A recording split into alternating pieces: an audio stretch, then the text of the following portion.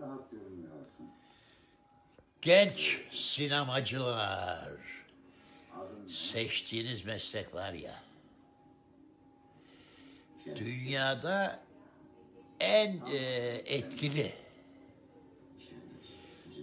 en sorumlu, en değerli ama o kadar da sorumluluk isteyen, çalışmak isteyen. Sinema aslında şöyle bir çevirip baktığın zaman hayatın ta kendisidir.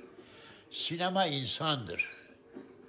İnsana ait, insana dair ne varsa işte o sinemadır.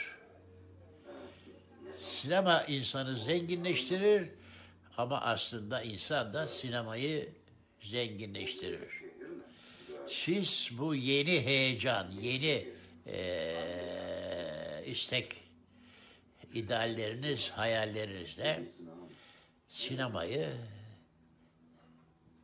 tak arkasından ona bağlı dünyayı güzelleştireceksiniz. Dostlarım, müjde.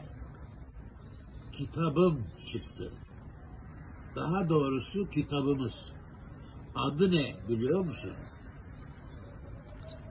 Benim kahramanım Cüneyt Arkın'ın kahramanı Türk halkıdır. Çünkü ben sizin içinizde büyüdüm. Sizden biriyim. Türk halkı adamı adam eder. Adamın içini temizler. Su katılmadık duru bilgedir. Yenilmeyi bilmez. Hürriyeti sever.